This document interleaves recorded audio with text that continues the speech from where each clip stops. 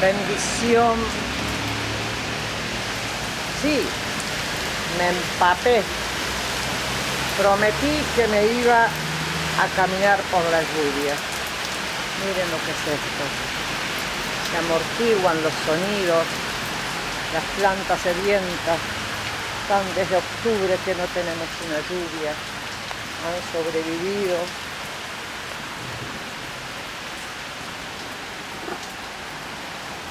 a ver si se nos lava las culpas de sentir que somos responsables por las cosas.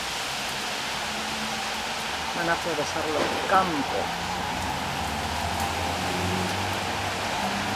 Vamos a escuchar la lluvia desde el otro lado.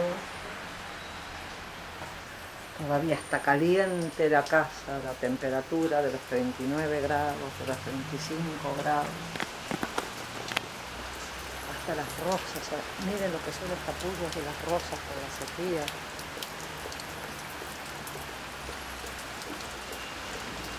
El ala del ángel. El cielo gris. Bendición de agua sobre la tierra. Y vamos a tener que empezar a hablar de los yuyos, de la valeriana, de la mamelis, de la manzanilla, de para qué nos sirve todo el verdor, esa naturaleza para equilibrar nuestros campos emocionales que se ven distorsionados por nuestras propias expectativas o por la realidad, por la exclusión, por no saber quién es, quién somos, dónde estamos. Quería mostrarles la lluvia. Había 33 grados esta mañana a las 10 y media. Cielo plenizo, cielo gris. Entonces uno se vuelve para adentro, porque con el calor uno no puede pensar, uno está como eh, con una pérdida del alma. Y en tanto la lluvia, los países fríos hacen que uno haga su viaje hacia adentro. Vamos a ver la otra parte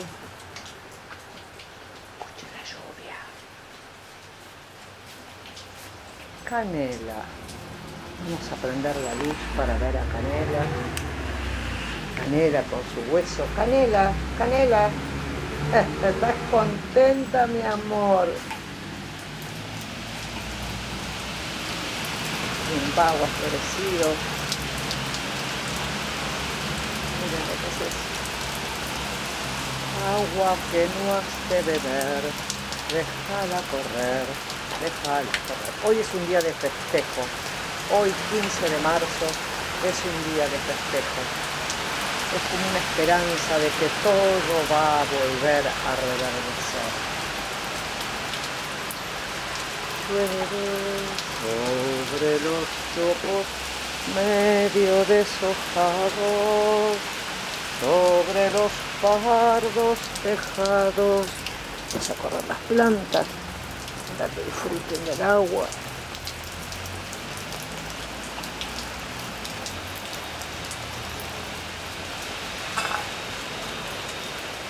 El banco quieto, con tanto la lluvia lo empapa.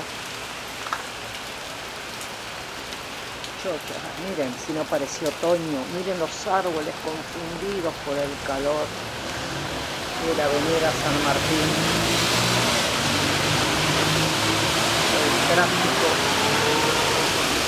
Ahora sería ideal poder ir allá al rincón de la rosa para disfrutar sobre el techo de zinc, techos antiguos,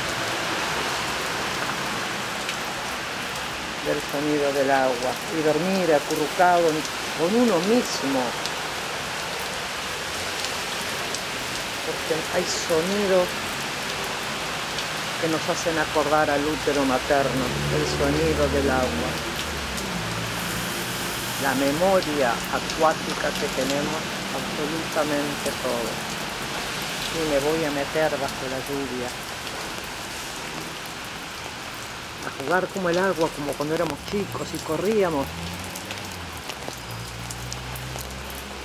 por las veredas y sus allá en Corrientes y juntábamos sapos descalzos chapoteando entre los charcos. Y no es la edad de lo que hace. O mejor dicho, uno tiene la edad de lo que hace. El gozo, el disfrute. Y ellas, audaces, miren la Santa Rita, buscando, buscando la luz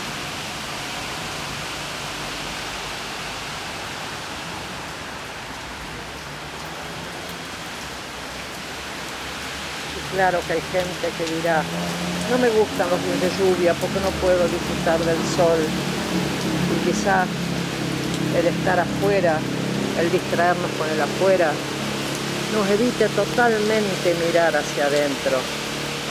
Y ahora voy a juntar el agua de lluvia para lavarme el pelo y bañarme. Quería mostrarles cómo estoy gozando del agua. Y para todos todos los campos, los animales, las personas. Esta agua es como una bendición.